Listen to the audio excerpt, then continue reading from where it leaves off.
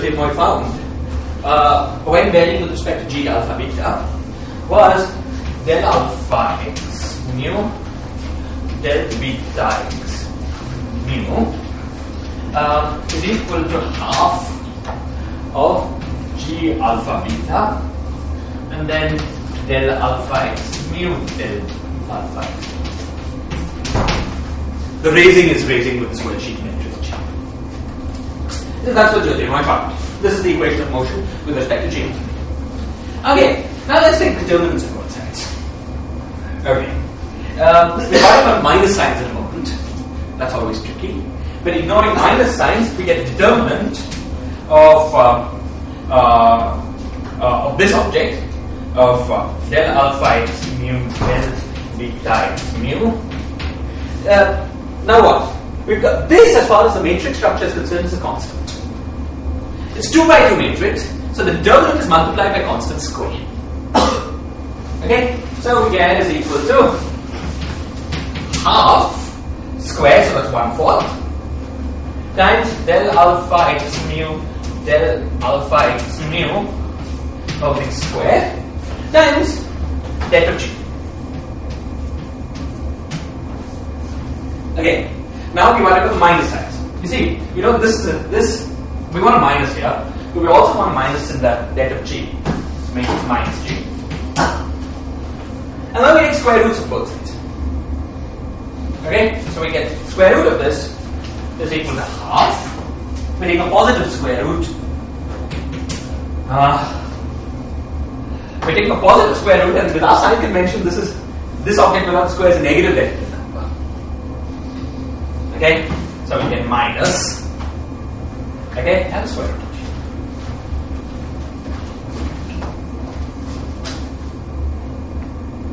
Okay.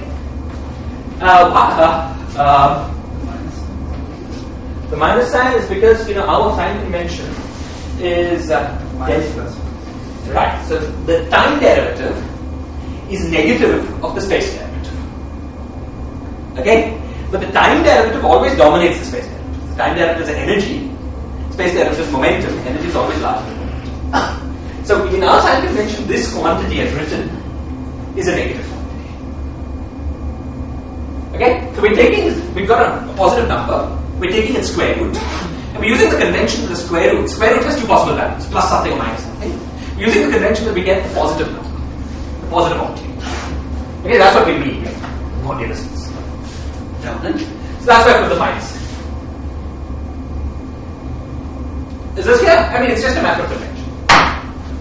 Okay, so therefore, this thing, just just to say again, this is going to have a kinetic term, and the kinetic term in this in this action will be positive with the structure sign.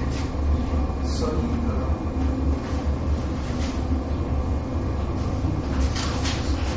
I think there is going to be a G in that expression that you started off.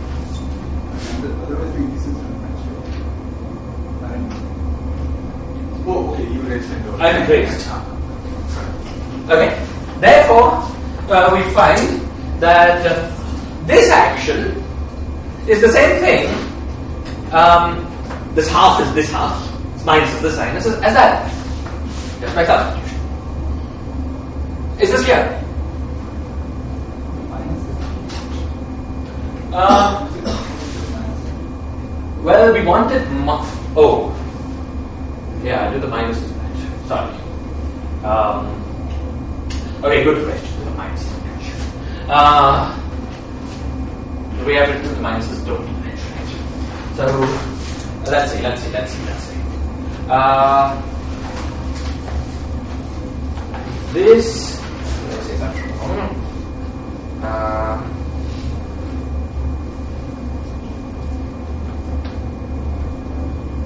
Okay, sorry. Yes. Um, okay, let's see. Let's, let's, let's see. We want something that is positive. Uh, minus sign would be there on the right hand side. you're saying minus sign won't be there on the right hand side. Uh, possibly, uh, I mean. Because we took a square root uh, of the thing, so there are two signs possible. So the one with positive will make it make the action positive. Yeah, it's not so clearly actually because of our sign convention we had negative type derivatives. Yeah, Uh, but there is a minus sign again in uh. Uh, okay, yeah, of course, at in taking the square root, we have this plus minus ambiguity. Uh, uh, sorry, sorry, just a minute. Was this the right sign to start with? Uh, But this you want the line depends on positive difference, second and certainly this is the uh, certainly we want to get this, because otherwise it won't make sense. These, these two signs have to be the same. Um, but what's looking puzzling is that if by the square root we mean uh, the positive square root, this looks like a negative definite object. Whereas this looks like a uh, uh, positive object. Just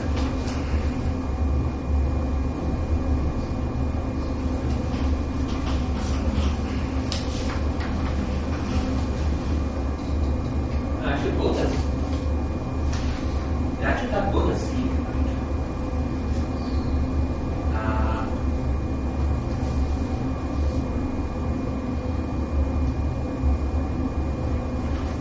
the argument goes. So statement, taking the square root, we have plus minus ambiguity. We choose one of the signs that works right. I can't think of at the moment the rationale for this particular sign. It actually doesn't matter because all we really care about is that the equations of motion are the same. And this guarantees that anyway. But there is something slick to say about why you get this sign. Let's not do it online here. Let, let me try to get back to things next time. Signs are always Okay, fine. So modulo this sign, we've we've found that this action is the same as this action. Is this clear? Okay. Now all this is very slick, but um, uh, it's hidden something quite important, and this it's this this hidden thing that I want to emphasize. Okay. The question we're going to ask is: Is this system the same classical system as this system? By which I mean, is there a one-to-one map between uh, uh, between solutions, the solutions of the two theories, such that you know anything you compute with this solution is the same as you compute with that. Okay. In order to answer that question, well, it's um, uh, in order to answer that question, it's interesting to do the following thing. You see, the structure looks to start with the structure of these equations look, looks as follows. It looks, it looks like we've introduced three new variables, the g alpha betas, but we have three new constraints from the equations of motion with respect to uh, for g alpha beta, which allowed us to determine what g alpha beta were in terms of x's. Plugging that solution back in, you get some equations of motion purely for x's. Therefore, it looks like these, uh, which would be the same as the equations of motion that you derive from the x theory, because we got the same action, modular sign, but that doesn't matter for equations. Okay? Therefore, it looks like uh, we've got the same classical systems. However, this is wrong. What I said was wrong. Does anyone know why it's wrong? Can anyone see why it's wrong?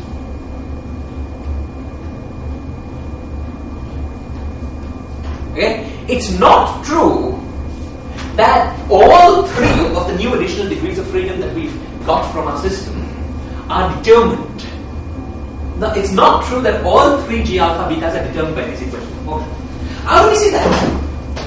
Well, um, one way of seeing that is by taking the trace of these equations. Taking this equation and multiplying it with a g alpha beta with other signs, with others. Okay, on this side, what do we get? We get del alpha x mu, del alpha x mu.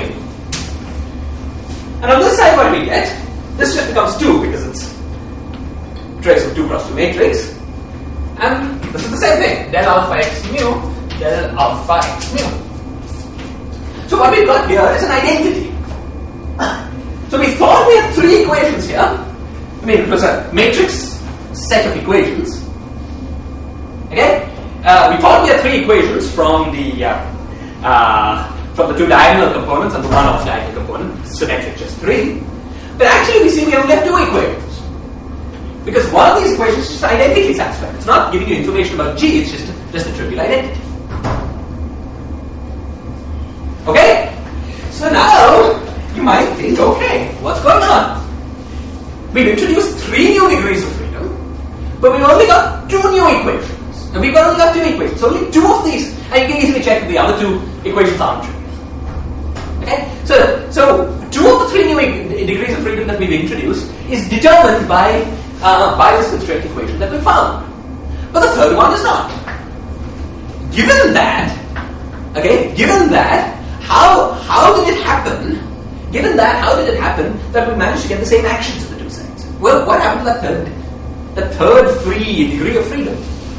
Since we got the same action, you know, we got an action plugging in with this equation of motion that didn't depend on this third free degree of freedom, it must be that that third free degree of freedom just doesn't enter the action at all. Okay, let's see how that works. Let's look at this action here. Okay, now consider um, consider two different metrics. G tilde, which is equal to G, G alpha beta, times G alpha beta times e to the power phi. Okay, where phi is an arbitrary function of, of your Winchie coordinates. Okay, now under this transformation, what happens uh, to all the fields that enter this action? Well, square root minus G alpha beta uh, tilde alpha beta is equal to e to the power of 2 phi by 2. The 2 phi is because the terminal scales like a square, and the by 2 is because we take the square root of square root g alpha beta. But also g inverse, so g alpha beta tilde is e to the power minus phi g tilde g alpha beta. Now this action has both the square root determinant as well as the g alpha beta. There are no derivatives anywhere of metric. Okay? So you plug this in and you find you get exactly the same action for G and G tilde. Okay? So there is a huge symmetry in this action. Okay? The symmetry has a name, it's called Weyl symmetry. So, so this action has a symmetry on the transformations.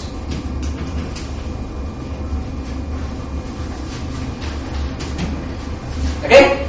Two different metrics that are related to each other by rescaling with a function of worldsheet coordinates give you same functional form of the action. Okay? It's because the action has this Weyl symmetry, it varying with respect to this direction in field space gives you no, no equation of motion. And varying with respect to this direction in field space, you can easily convince yourself it's the same as taking the trace of these equations. Because you're varying with respect to direction and field space in which the whole metric is changing in an overall way, uh, which is uh, which you can convince yourself is uh, basically the trace of this equation. This equation motion came from varying all the components separately, but if you varied in a way that was proportional to metric, you know, it would be g alpha beta, the thing that Floating Boy had, the variation is proportional to delta g alpha beta is proportional to g alpha beta, and therefore that traces this equation. Okay? So we've discovered the reason for our equations of motion being too few to solve for this new degree of freedom. The reason is that uh, the action we wrote down, this new fancy action we wrote down, had a big symmetry. Now, what is the consequence of this?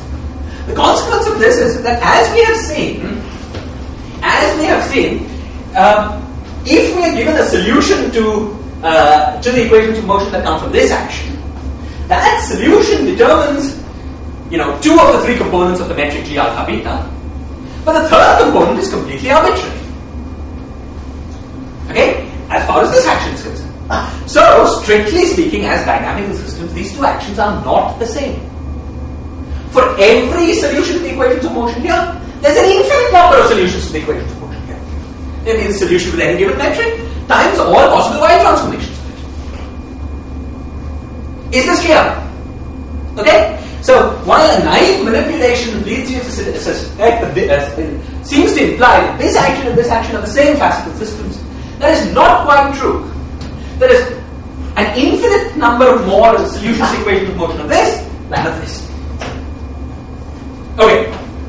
Now, The extra degrees of freedom is not dynamical.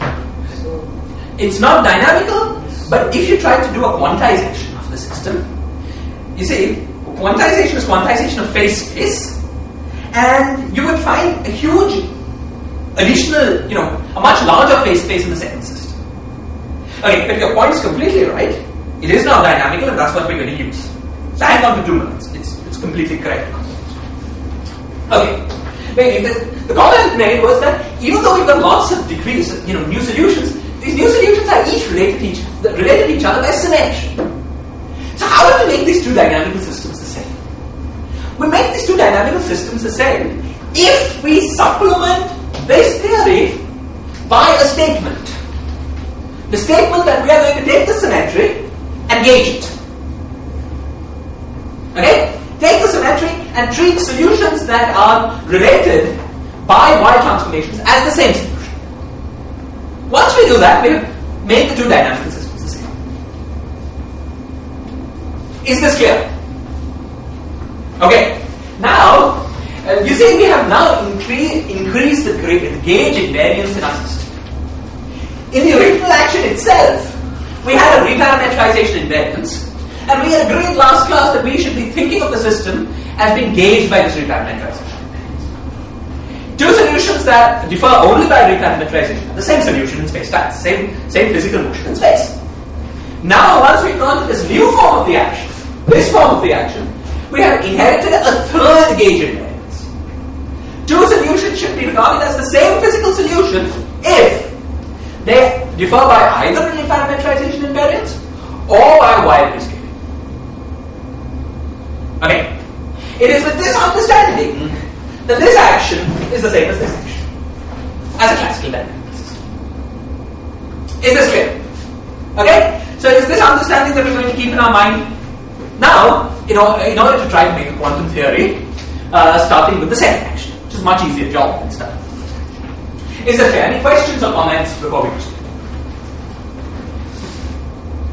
Okay, so let's move on. So let's clear everything and write a little more systematically.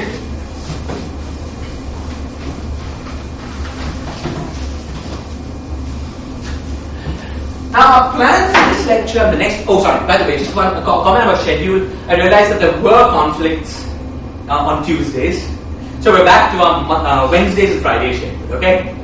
Wednesdays and Fridays, that's written in stone, unless there's a really good reason we won't change that. Okay? Fine. So, what we're going to do in the next, in this lecture and the next one, is, and perhaps the next one, is perform an honest quantization. Is perform a quantization of this action, the string action. We're going to do this in two steps. In this lecture, I'm going to try to get to the result as fast as I possibly can using slightly slipshod techniques. We're trying to be as honest as we can. In the next two lectures, we'll go over. Well, may take a little more than the next two lectures. But in the next few lectures, we will go back and revisit the question and discuss it very carefully using advanced and interesting techniques of conformal field theory on the question string. But first, before we get into deep, you know, before we get into formalism, let's let's try to study the answer in a slightly slipshod way. Okay, so so so what's our what's our goal? Our goal is to take this action, which is minus t. Okay, now I'm going to switch to the conventions used in string theory. T. What was t? The coefficient behind the action was the tension of the string. Right? Uh, now, uh, it's con- in conventional, it's uh, conventional to write t as equal to 1 over 2 pi alpha. Um, let's, let's look at dimensions. Tension is mass per unit length. Okay? A mass, energy are all the same dimension because h cross is 1. And mass and inverse distance, because c is 1. And mass and inverse distance are also the same, same dimension because h cross is 1. Okay? So we've got mass per unit length, which is 1 over length squared. Okay? Therefore, this quantity, this alpha prime, is a quantity of, of dimensions length squared. Square root of alpha prime is a length, and uh, is a famous length. It's going to be, it's, uh, we, we will encounter it all through our study of string theory. It's the length associated with the size of strings. It's, it's called the string scale. Okay? At the moment, this is just a change in notation. But the square root of alpha prime will be the length scale that will appear all through our study of string theory. Okay. So t was this, uh, but now our action was minus t by 2, so minus 1 by 4 pi alpha, right? Then integral square root of minus g del alpha x mu del alpha x.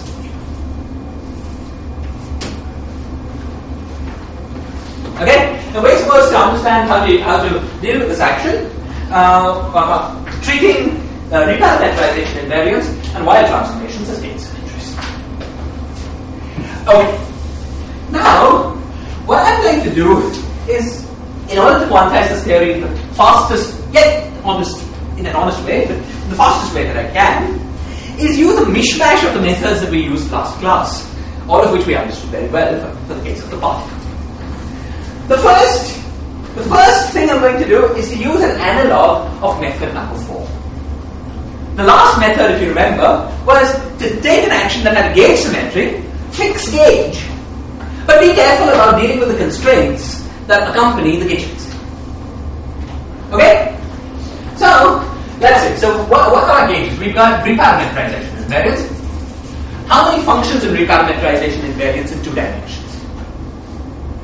How many? This is how many functions worth of invariance? Two functions worth of invariance. That's two. And we've got wired invariance. How many functions worth of invariance? One function.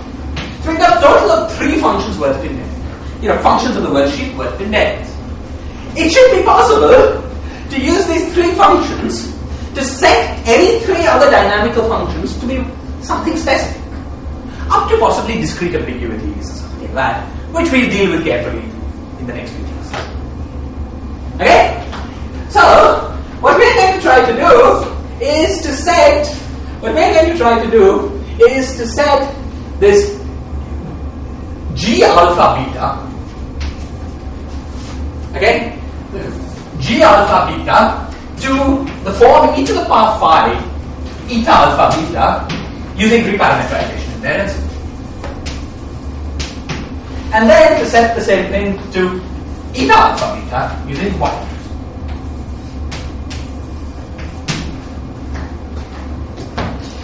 Now there are immediately questions of can you do it? Can you always take any metric and use reparametrization invariance to set it to this form? After which, of course, you can always set it this form. Why not? These are interesting questions, which depend on many details. It depends on the space in which you're living, and so on. We will analyze all these questions in detail in, the, few lectures. But for now, we're going to forget some subtleties. They affect small things, but not gross idea. And pretend we can always do it. Okay? Pretend we can always do it. So this is the gauge that we're going to set. Okay. Once we have set our gauge, our action becomes enormous extremes. Our action becomes s is equal to minus 1 by 4 pi alpha prime square root of uh, my, well, there's no minus g now, so it's just del alpha x mu del alpha x mu, where the contraction is now done using the flat space metric dimensions. Okay, this is a system of three bosons in two dimensions, which anyone can solve. Okay, great.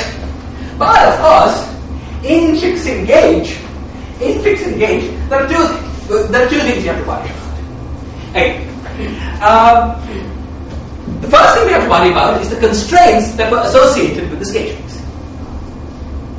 Okay? So let's worry about that. Now the constraints associated with the gauge fixing were the equations that Jyoti to write for us in this class. They were the equations of motion with respect to the object that being fixed, which was d alpha x mu, d beta x mu is equal to uh, square root of g, but that's a, now square root of g is just 1, or you know, square root minus g is just 1, we have minus half uh, del alpha x mu del Okay, there was no square. This, this is g alpha beta del alpha x mu del alpha. Okay, so we have to do our, our quantization consistent with, with, with these constraints. So these are oops, these are constraints.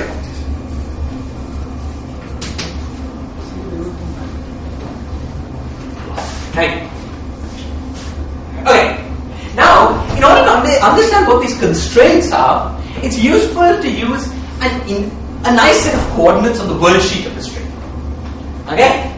So, the coordinates that I'm now going to introduce to you are the light-like coordinates of the world string. So far we've been using these, these coordinates sigma and tau, in terms of which we've chosen the metric, or let's say tau sigma, in terms of which we have chosen the metric to be minus 1 and 1. Okay? But let's now move to a new set of coordinates, sigma plus, which is tau plus sigma, and sigma minus, which is tau minus sigma. And let, let's write everything on the worldsheet string, everything in action in terms of these variables. Every derivative in terms of der- derivatives for sigma plus and sigma minus. So we're going to transform this action into that form. That's very easy to do. So let's let's let's remind ourselves uh, how things work. Firstly about the action. Okay, this thing was just was minus del tau squared of x plus del sigma squared of x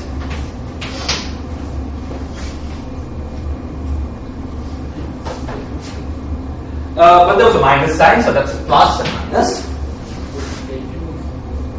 Okay.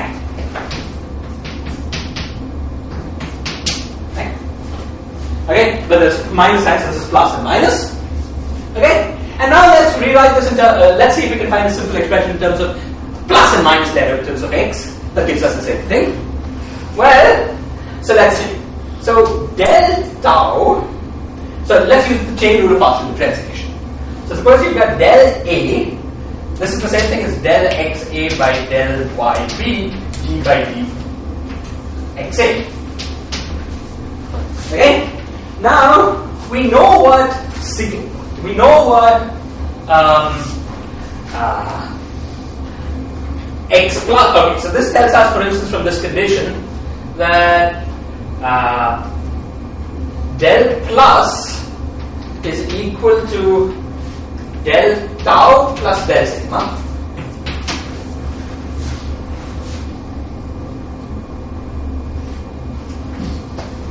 That's the other way so, oh, I, sorry, I did the other. Let's use the chain rule method. Let's use it right. Uh, dy by dxa d by dy e. Okay, so let's choose our y's to be sigma plus and sigma minus, and our x's to be the, the tau's. So tau's and sigmas, we have del tau is equal to uh, del plus plus del minus, and del sigma is equal to del plus minus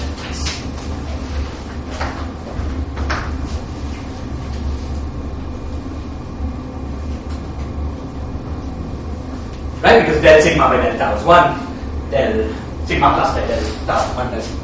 Okay? So you can take this and plug this into here to see that this is the same thing as del uh,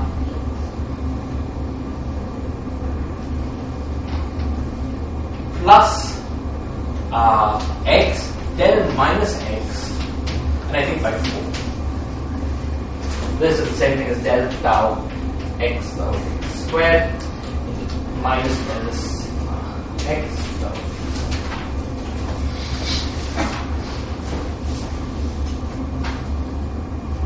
Yeah, the 4 is because you get a factor of 2 when taking this square, factor of 2 with the other side. This square, you get 4 times that, you just plug in here, and that's why you the 1. Okay? So, triviality, but okay, let's keep it. Let's try to get all factors straight. Okay. So, our action rewritten in terms of uh, uh, plus and minus has the following interesting form. 1 by pi alpha, right?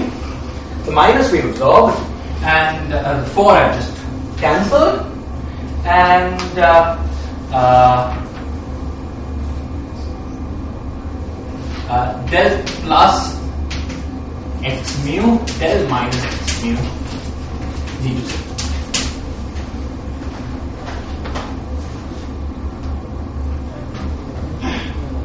One by four should be on the other side. Let's see. Um, very possible. let's let's see. Uh, if we put in what, yeah, yeah. And now is that consistent with that? Uh, yeah, it is consistent. Sorry. Good. Okay, so that's what our action looks like. Let, uh, let's see what our constraint looks like in, in, in a moment. Okay, uh, this, this form of the action is sort of nice because it helps us solve the equation of motion very simply, as we'll see in a moment. And I'm familiar this wave equation. But okay, uh, uh, the real reason for going to these, these variables is that the constraint becomes more simple. So let's look at what the constraint is. Okay, so this constraint here was of this form in any set of variables. So let's use it in the variables where alpha, beta range over plus and minus. Okay?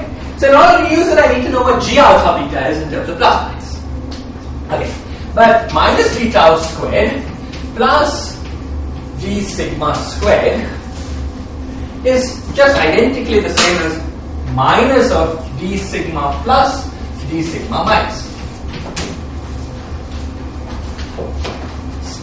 a plus b minus b is a squared minus b squared. Okay? Which tells us that g plus minus is equal to minus half. There's a factor of half between what we've got here and what we've got here because the metric is symmetric. There are two terms. Because g plus minus is same as g minus plus. Which tells us that g plus minus, if we need that, is equal to uh, minus of 2. when we invert. Okay, so now let's compute. Let's compute. Uh, uh, let's compute uh, this constraint equation. Let's compute this constraint equation. Uh, all three compute uh, components. Well, the first thing we see is that the plus plus components and the minus minus components. So let's write the constraint equation as this minus this, can see. The plus plus components and minus minus components are very simple. They're very simple because in a new uh, um, in a new set of coordinates, g plus plus is 0, g minus minus is 0. So we get no contribution from this term. Is that right? So when I say g plus minus is out, it's just supplemented by g plus plus equals 0, g minus minus. Is that clear? Okay? So two of the constraints are very simple. Two of the constraints are very simple. The del plus of x, um, x mu del plus of x mu is equal to 0 and del minus of x mu del minus of x mu is equal to 0. What is the third constraint equation? What is the constraint equation that we get by taking plus and minus? Can somebody do it without doing algebra? We've already set the answer. It's zero. So as Loganaya pointed out, by taking plus the plus minus component in this in this coordinate system, we're taking the trace of the matrix uh, of these equations. And we've already seen that that should just not give us an equation, that should be an identity. Now it's a matter of keeping your wits about you. Um, it's a matter of keeping your wits about. Let's let's try uh, to see that it actually works. That, that it's a matter of twos and minus signs. Let, let's say we're good enough. Okay, g alpha beta has is minus half. So that's um, okay. Great. So so okay. So let's look at the plus minus equation. So the plus minus equation is del plus x mu del minus x mu on the left hand side. Then we have minus of one fourth because no, a minus of half and then keep a minus half. That's g alpha beta. And then this quantity. Now this quantity was what? It was del plus x mu, del minus x mu, multiplied by g plus minus. But there were two such terms. It's del plus x mu, del minus x mu, and del minus x mu, del plus x mu. So two such terms, and g plus minus is minus 2. So we get into minus 4 times L plus x mu then minus x mu. Not that, I think we've got it. Okay? So minus 4, 0.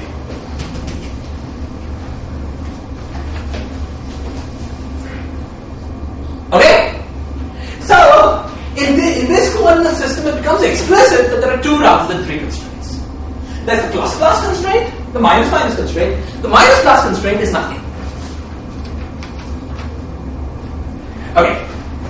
Uh, fine. So let's summarize. What, what have we got so far? We've understood that what we want to do is to quantize the action that I've written down here. Quantize this action. Okay. Uh, subject to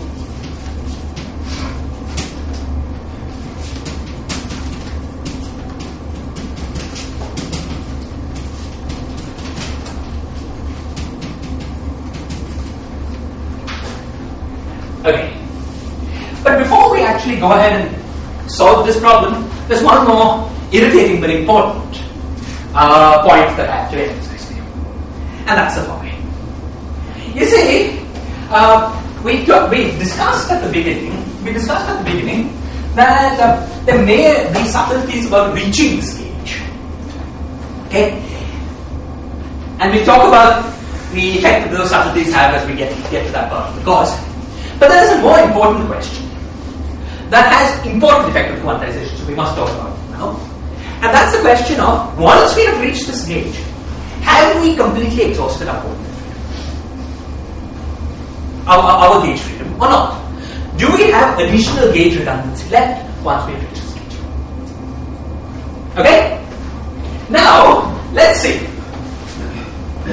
Um, suppose we just, we, we were asking the question general relativity We've taken a metric and made it flat somehow the, the other, just sigma. We asked, are there coordinate redefinition, are there coordinate changes that commute with it being flat? And there are the only very trivial ones, like Lorentz such things, such small numbers of things won't affect anything. But remember, our gauge freedom helps not just coordinate redefinitions with coordinate redefinitions plus Weyl transformations. Okay? So, if we perform a coordinate change, that doesn't leave the metric invariant, but whose only effect on the metric is to rescale the metric by an overall function. Then that rescaling of the metric can be undone by a Weyl transformation. So that is also a gauge symmetry. Okay? So any any change of coordinates, any uh, any reparametrization of the theory that whose effect is to perform an overall rescaling of the metric. Okay? Uh, in this gauge, okay, is, is a symmetry that we have not yet fixed. Is this clear?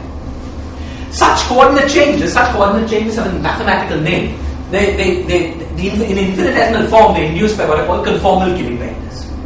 So a mathematician would ask, uh, uh, for, for a mathematician, we're studying the problem of finding all conformal Killing vectors in our, system. Though mathematicians would generally try, tend to impose conditions at infinity for these vectors. With, for the noted questions we're asking now, we're not imposing conditions. Okay. So now we're going to ask the question: Can you think of any reparameterizations in two dimensions that change the metric? Of course, change the flat metric, but change the flat metric only by over multiplying it by an overall function. Now, I know several of you know the answer, but for somebody who doesn't know the answer, uh, okay, uh, uh, because you've read it before, can you think of any such function? Any such reparameterization? Okay, multiplying by constant is, is, is, is, such, such, such a, is, is an example, but there are many more. In order to help you, let me rewrite metric in our nice coordinates. d sigma plus, d sigma minus. This is our metric. Now, can you think of any uh, changes of coordinates that only multiply this metric by an overall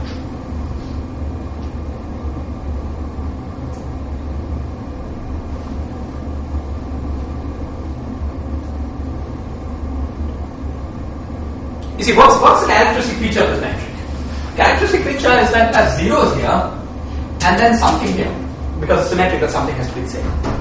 All you want is some change of coordinates that will leave the structure intact. By which I mean the, there is no d sigma plus d sigma plus term, no d sigma minus d sigma minus term, just as d sigma plus d sigma minus term. Can you think of coordinate change in this metric that achieves that? Sigma plus should go to the function of sigma plus. Very good. Sigma plus being redefined to any function of sigma plus, sigma minus being redefined to any function of sigma minus preserves this. Okay? So there is an important function worth of ambiguity, function worth of not yet having fixed our gauge freedom completely in our problem. There are sigma plus is equal to some function, let's call it f of sigma plus, and sigma minus is equal to some other function, let's call it j of sigma minus, are functions worth of reparameterization invariance that we have not yet fixed. Okay? Now, you might think, well, well, what happened to our argument? You know, we used three functions to fix three variables. I mean, maybe there's some discrete ambiguity in that, or some, some small ambiguity, but how, how are we left with functions work? Does, is, the, is the question clear? Sounds, sounds unreasonable to be left with as much freedom as you thought you'd fixed. What's the answer to that? Constraint equations is also, also. No, no, this is an equation independent of constraint equations. Just you fix engage. The answer to that is that we're not left with as much freedom as we as we fixed because these are functions of one variable, not two. You see, our general coordinate transformations have as reparameterization invariance three functions of two variables. Our, what we're left with is two functions of one variable. That's much less. So measure zero instead of functions of two variables. Okay? But yet might be physically important. Is this clear? Okay. So, so before we just embark on a mathematical program of quantization, we have to deal with the fact that we have not yet fixed all our gates. So let's put that as point three. Need to fix unfixed gauge symmetry. Um, uh, need to fix unfixed gauge symmetry. Uh, x mu, sorry, sigma plus is equal to f of sigma plus, sigma minus is equal to g of sigma. Okay. Now, in order to emphasize to you, in order, in order to do this fixing, and also in order to emphasize to you how important this fixing is, um, before proceeding to the quantization, I'm going to remind you of the classical solutions. The classical solution to this problem. Okay? So what do we have? Well, suppose we were to compute the equations of motion. Suppose we were to compute the equations of motion for x mu, we vary the action and we find del plus, del minus of x mu to zero. It's a very familiar equation of motion. It's the traveling wave solution in one dimension. And we know that all solutions to this equation of motion are x mu is equal to, let's call it x mu plus of sigma plus plus x mu minus of sigma minus. As you can easily prove this. This is a set of solutions to the equations of motion. Uh, of the. Now, are these functions x plus and x minus completely arbitrary? But remember, we were dealing with um, with uh, uh, with a string such that whose sigma coordinate was periodic in zero and two, between zero and two pi. So it's not completely arbitrary. These functions have to be periodic in, in sigma plus and sigma minus, with periodicity 0 to 2 pi, which tells us that if we were wanted to, we can expand them in, in a Fourier series with only the correct integer frequencies. Okay, we'll come to that in a moment. We'll come to the detailed solving quantization solutions in a moment. But why I wanted to say this immediately was to emphasize how important that remaining coordinate, uh, remaining gauge redundancy is. You see, suppose I you suppose I take suppose I take this this this gauge transformation and I uh, apply it on a solution. Of course, I must get another solution. Okay? So what, do I get? You know, I get the sigma plus replaced by f of sigma plus, sigma minus replaced by f, g of sigma minus. Okay, but you see, if we were interested in looking just at the space of solutions, we could use this coordinate redefinition of ambiguity then to say any particular one of these x's to something specific. you know, we could just use, it. you see, any function of sigma plus is as good a definition of sigma plus as sigma plus itself, provided there are certain global things that, you know, doesn't turn around. Right? So, we, we have a, co- a coordinate redefinition of ambiguity in our problem. Sigma plus is only defined up to functions of itself. Sigma minus is only defined up to functions of itself. Now, on shell, the solutions to the equations of motion, these things are divided up into functions of sigma plus and functions of sigma minus. Okay? So, one of these coordinates could be used as a definition of sigma plus. Okay? To say it again, even before we impose any constraints, the space of inequivalent classical solutions is not, suppose we were d dimensions, d space-time dimensions, is not d functions of sigma plus and d functions of sigma minus. It's d minus 1 functions of sigma plus and d minus 1 functions. Is this clear? Okay? The constraints, on the other hand, remember the constraints have this nice property that you got one constraint for pluses and one constraint for minuses. Del plus on a function of sigma minus is zero. So the first constraint constrains x pluses and the second constraint constrains x, x minuses. Okay? So the constraints, on the other hand, are one more equation on, on sigma plus. So it can be used to eliminate one more solution. So the space of classical solutions of this problem, the space of classical solutions of this problem is 20. No, it's d minus 2. It's d minus 2 uh, functions of x plus and d minus 2 functions of x plus. Okay? If we'd forgotten about solution, uh, this redundancy, we would have got the answer d minus 1 and d minus 1, which is totally wrong. Okay? So it's a very important thing as people, as people soon see. Now, can somebody give me a physical interpretation of d minus 2? Uh, so let me ask you the following question. Suppose I have a string, a long string, stretched in a physical three-dimensional space. The string has tension, and I hit it a little bit. The, the, the, the oscillations of the string, the oscillations of the string can be thought of as some number of scalar fields on the on the uh, propagating on the string. How many fields in physical space? Say louder. The camera. That's correct. It's two.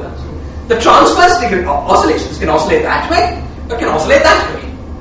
You might thought it should be three, because the three directions in space. But one of the directions is the direction in which the string is, is itself. It can oscillate there.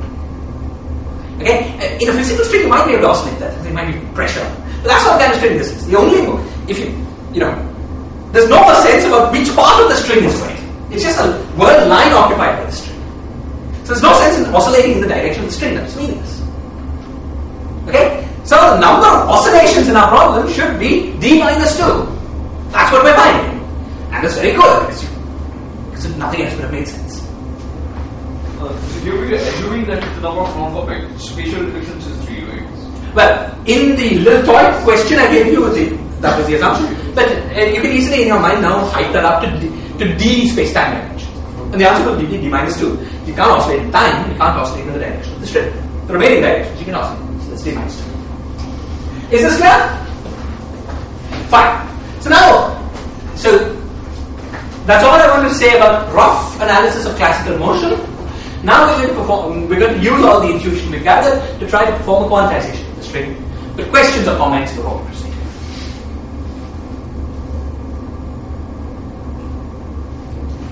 Questions, comments? you just over the d uh, argument for d minus 2 clear The physical argument or the argument formally? the physical argument. The physical argument was this. See, suppose you've got a string occupying a certain, you know, a certain position, and you have to ask what they you. You to There are- There are no invariances, I mean, uh, uh, translational invariances along the string or. There's no tra- there's not no necessary translational invariance around the string.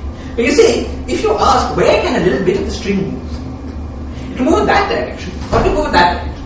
If it moves here, that is Yeah. changing the shape of the string, and so it's not counted as a new shape.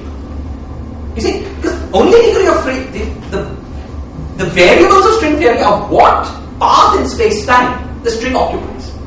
There's no sense of what part of the, you know, the, our string isn't made up of atoms we can label. There's no question of which atom is where. The only thing we can say about the string is what space-time curve it is occupying. So if you try to move the string along its own shape, that's not changing that space-time curve. Is this clear? Okay? That's that's that's the physical argument, and we've seen we've seen it formally from here, and we will see more clearly as we go.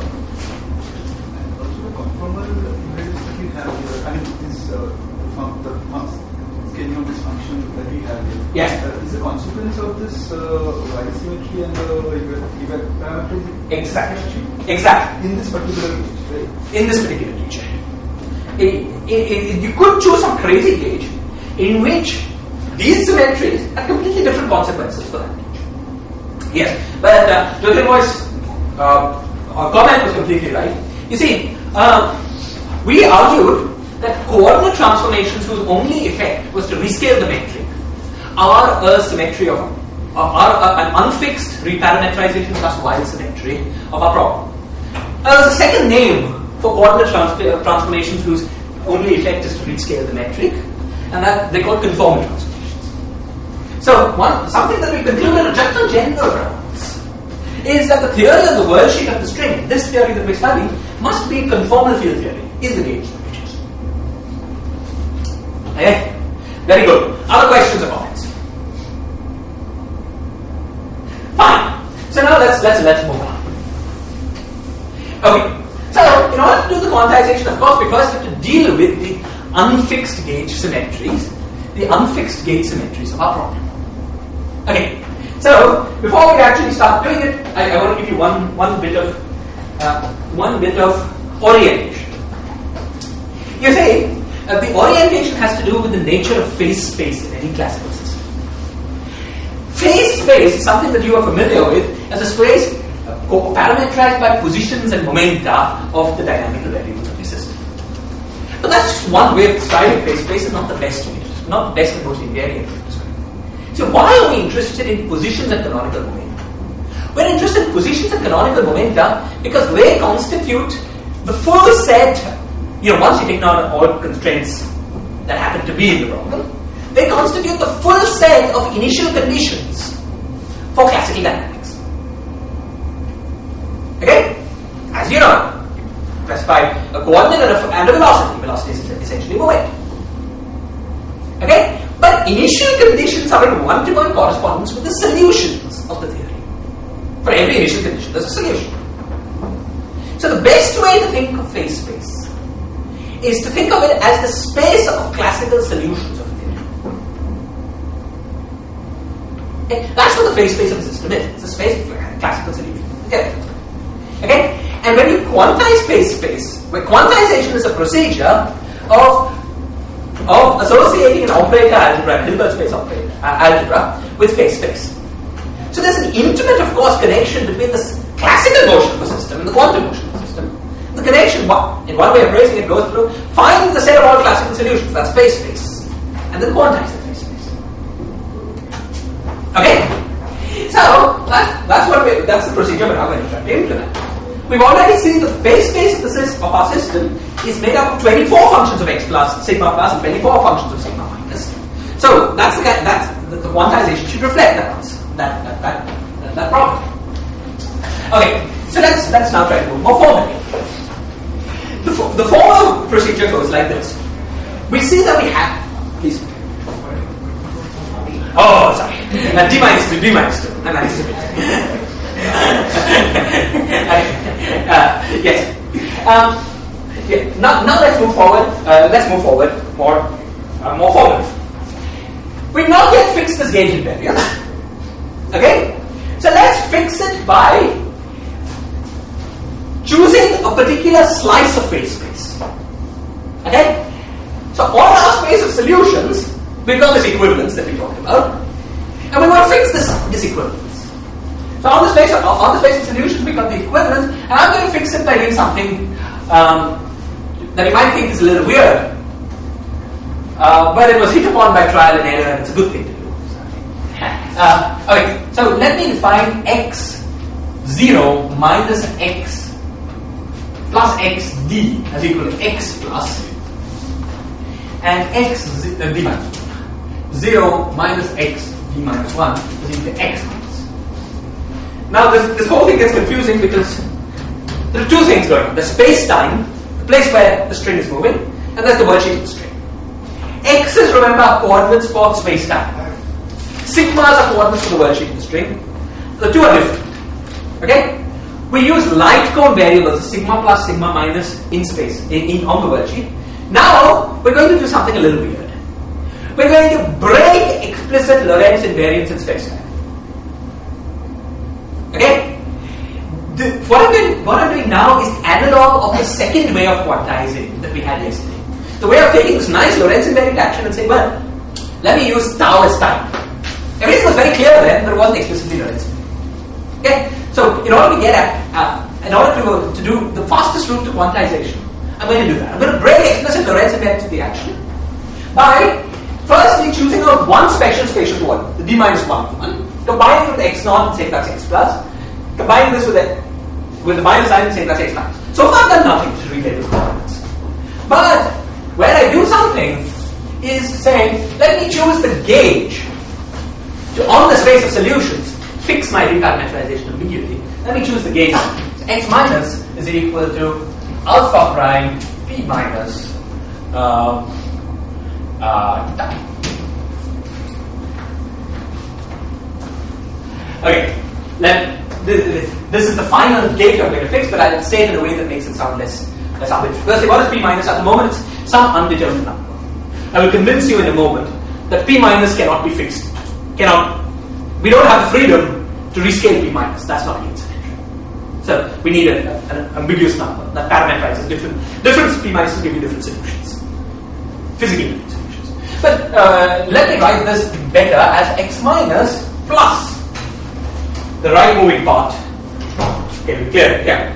X minus plus is equal to alpha prime p minus into sigma plus by 2.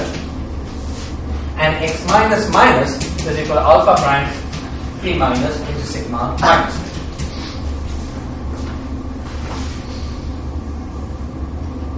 Remember, every solution to the equation of motion was some function of sigma plus and some function of sigma minus. Okay. This statement, how do I make tau a function of sigma plus and sigma minus? Well, tau is equal to sigma plus plus sigma minus by 2. Okay, so read tau equals sigma plus plus sigma minus by 2. And then I'll use that to identify what I meant by. So this statement is equivalent to this statement. Is this clear? Okay?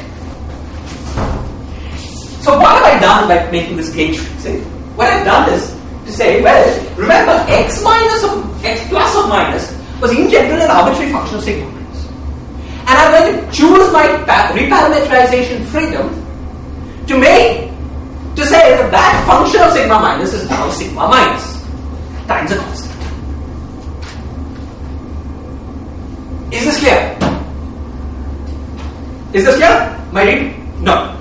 You see, what did I have in my hand? I had reparametrization of variance.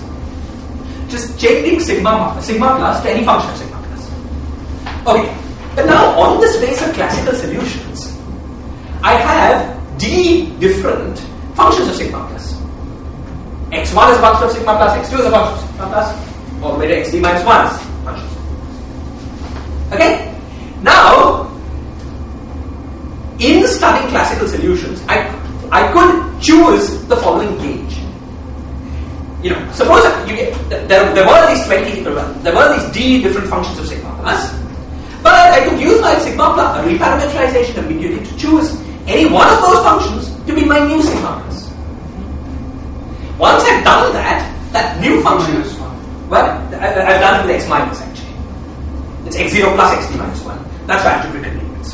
I could have done it with x0. Conceptually, I could have. This is just algebraic convenient. Okay? That's all I've done. I've taken x plus and said whatever that is, that's my new definition of sigma plus. Up to this constant, we talk with the constant. And whatever x minus was, x. You see, that's that's the problem with talking about this. There's minus and a plus and a minus and a minus. Uh, x minus plus for sigma plus, x minus minus for sigma minus. Up to a constant.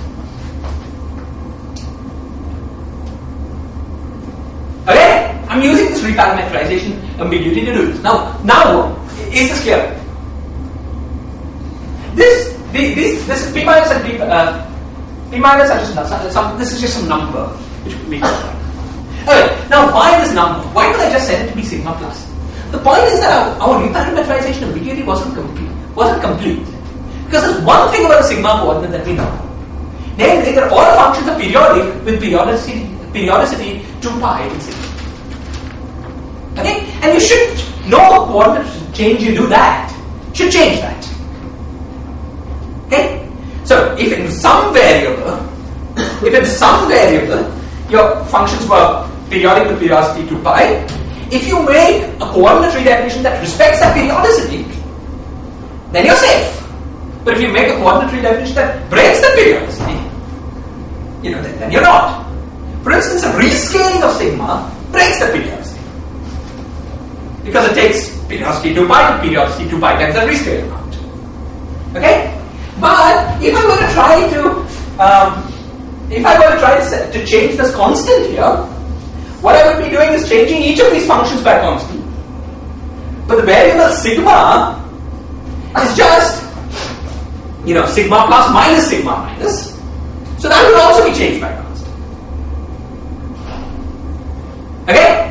I don't have enough coordinate definition freedom in my hand to soak up the zero mode part. The zero mode part of what x minus was doing. Is this clear? Let me say this better. Let's remember we said that the most general solution, the most general solution, okay, of uh, of any of these x's and therefore of x minus was of this form. Let's forget about the x sigma minus in what I'm saying for a moment. Look at just sigma plus. Okay? Now, this was a periodic solution. So x mu, what we have is that x mu plus can be written in terms of of uh, of Fourier modes. So we could write this as n as n not equal to zero e to the power i n sigma plus times some number. Let's say beta to the power n. Right? Sorry? Okay? Now, in addition, of course, we could also, we could, we don't need n not equal to zero to be constant, that's fine. So, sum over all n. But there's one more thing we can do that also solves the equations of motion. Uh, apparently. Okay? And that one more thing that we can do is to add to it a constant times sigma. Sigma plus. Well, now this doesn't respect the symmetry. Because when you take sigma, sigma plus 2 pi, sorry, oh, okay, okay. Yeah, we can add this plus some constant times sigma plus. This by itself doesn't respect the symmetry. But remember, we also had x minus in our hands. So if we chose a constant in x plus and the constant in x minus to be the same, then the sigma part cancels between the two. You see, x is then just a function of tau. And then it does respect the symmetry. Okay?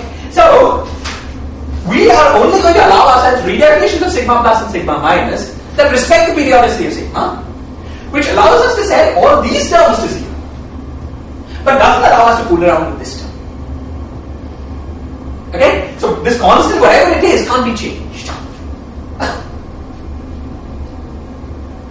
okay? So this is a physical object, and I've called it P minus.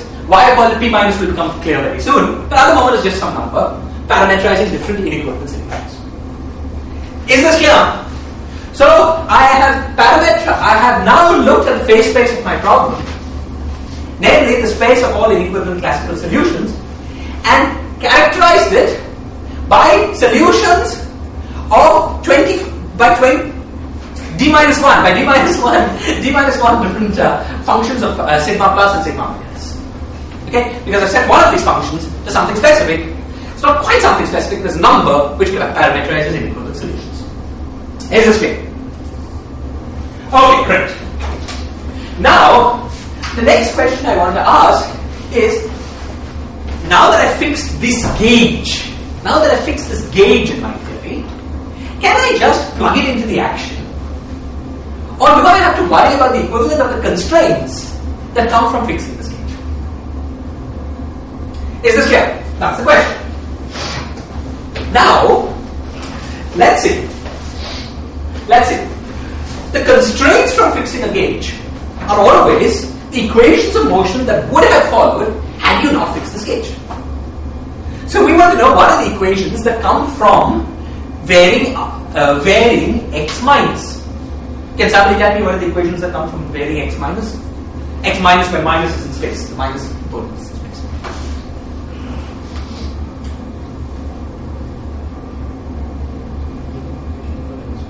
You get an equation for x plus, exactly.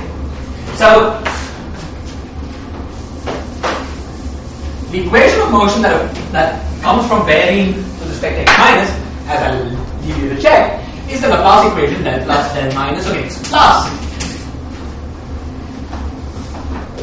Okay?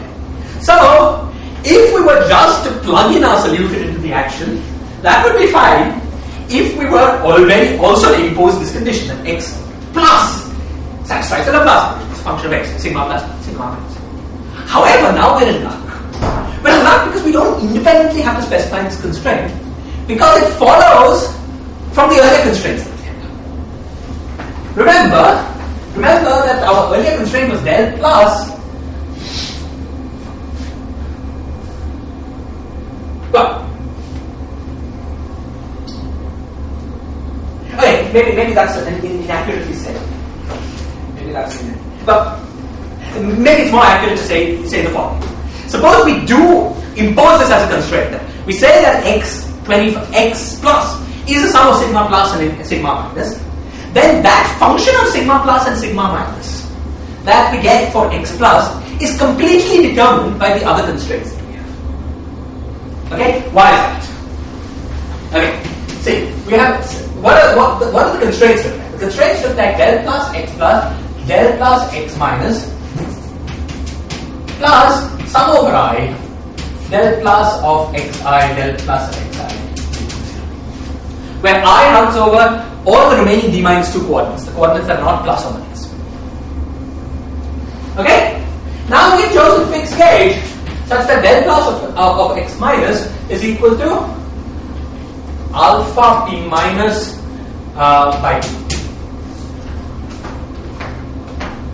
So, we have been told therefore that del plus of x plus is equal to 2 by alpha p minus into sigma of i del plus xi del plus xi.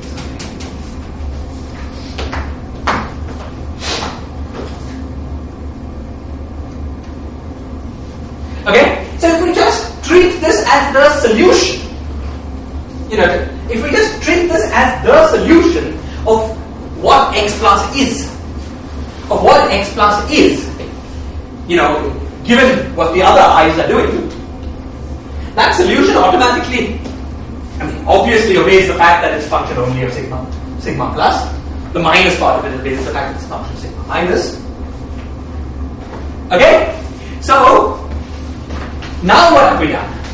We have, okay, we've used the fact that we know that, that x plus must be a function of sigma plus and sigma minus of only. Put in that fact plus the earlier constraint to completely solve for x plus in this case. Completely solve is a little inaccurate. We have not solved for the zero mode of x plus. You see, we only have solved for that part of x plus that is uh, uh, that is visible in the derivative expansion. But x plus will have constant. Just a constant piece that we have not we have not solved for. Uh, this, but, but almost, apart from that one constant term, term independent of sigma plus, we've completely solved for x plus in terms of the motion of the other d minus 2 coordinates in this case. Is this clear? Okay? Questions or comments? Fine. So, now we're going to ask a question. Now we're going to ask a question. Um, having done all this babu ba, can we now write down a simplified action okay, for a dynamical system that has the same solutions, you know, that is dynamically equivalent to the system that we started with. Namely, an action that has all the same solutions, an action that has uh, all the same solutions to the equations of motion as the one we want. Okay? Well, you see, because solutions to the equations of motion are parameterized just by uh, xi's and by this one number p minus, also by some zero mode part, not in a moment. Okay? If we were interested in writing down an efficient action, if we were interested in writing down an efficient action, that action should just not have x plus and x minus in it. Okay? Maybe another, another way to say it is take the action of, uh, maybe another way to say it is to take the action of the theory that we had and just plug in the gauge. Plug in the gauge condition. Okay? And check to see whether varying the equations of motion that follow from that action, the equations of motion that follow from that action, are the equations, you know, uh, give, give us the solutions that we want. Okay? So, I may have said this confusingly, let me say it again. Uh,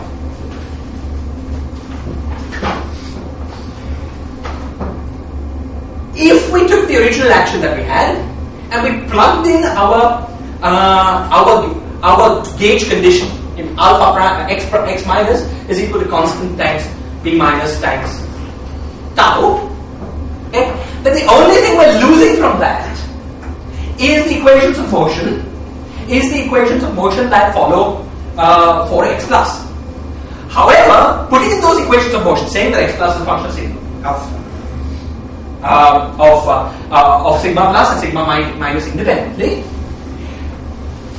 plus the constraints allow us simply to determine x plus. This whole process does not back react on xi's. Okay? The full classical dynamical system is an arbitrary, arbitrary left moving, right moving functions of xi, and all that the system does is determine what x plus is doing in terms of what xi is doing. Okay? So, so basically, the conclusion we've reached is that it would be legitimate in this situation just to take the action we had and plug in our gauge. Okay? Once we've done this, we can even forget. We can even forget about our constraint equations. Because the constraint equations don't constrain the dynamical degrees of freedom that remain. Just relates other degrees of freedom to these guys. Why do we care? Okay, there is one degree of freedom that we would be wrong uh, in doing, this with, which we to. Okay, so let's move. So what we to do? So we have 1 by pi alpha prime. Okay. Uh, okay, let me go back to slightly, go back. So, our action was equal to 1 by minus 1 by 4 pi. Okay, let- let's 1 by 4 pi alpha prime. And we had x x mu dot x mu dot minus x mu prime x mu prime equals zero. This was our action. Into this action we put the gauge, we put the gauge condition. We put the gauge condition. Okay? Uh, yeah. In the, in, into the action we put a gauge condition that uh, I'll come back to zero modes in a moment. But that essentially eliminates, you know, what, what what does it do? It makes, uh, we put in uh, a condition such that x, so, so there's part of this that is x plus x minus, and there is part of this that is xi xi. Okay, let's start in the x, x plus x minus part. You see, all that survives here in the x plus x minus part are zero mode contributions. You see, suppose you took x plus and Fourier expanded it in, in, in modes of the circle, and x minus and Fourier expanded in modes of the circle. We set all the non-trivial, non-zero Fourier modes of x minus to zero. But in this integral, the only way you can get something non-zero is if a Fourier mode with momentum k clicks with a Fourier mode with momentum minus k. So the action that remains is an action only for the zero modes of x plus and x minus. Is this clear? Hmm? So there, there's no action remaining for the oscillator modes of, of x minus, that's can be. We gauge fix at zero. Or all the oscillator modes for x plus, they just don't enter the action. Okay? Xi's are just not affected by what's going on. So the final conclusion that I want to that I want to draw is the following. Is, is what following. Is see. Uh,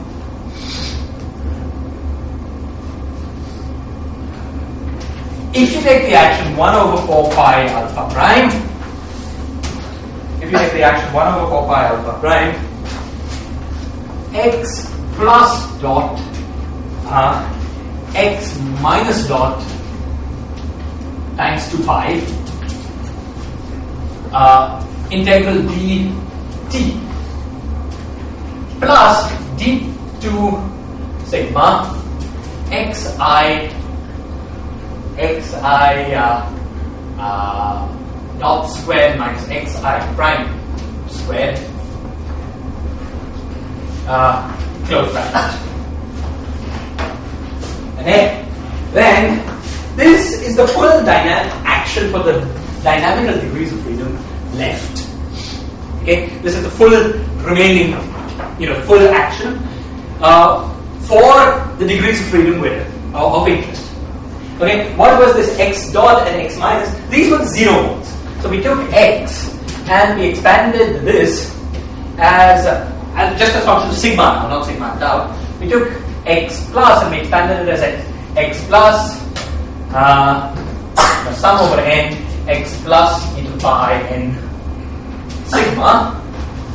We've already argued that all the modes with, with non-zero n drop out. This is the mode with n equals zero. The two pi's come from the, doing the integral uh, over sigma. Yeah, in, in two minutes. Okay, great, great, great. Okay, so, so, so, sorry. So, so what? Okay, so the net conclusion then is that we we're interested in the action one over two alpha prime um, x plus dot x minus dot plus one over four pi alpha plus plus one over four pi alpha prime uh, uh, xi dot the whole thing squared minus xi prime the whole thing squared d2 sigma. Okay? This action is to be supplemented with one remaining constraint. The one constraint that was not that was not completely uh, redundant when we did this whole thing. That, that one constraint is the zero mode part of this constraint. Why is that? Why, why is that that this one constraint is left behind? Okay, the one constraint is left behind basically because of this.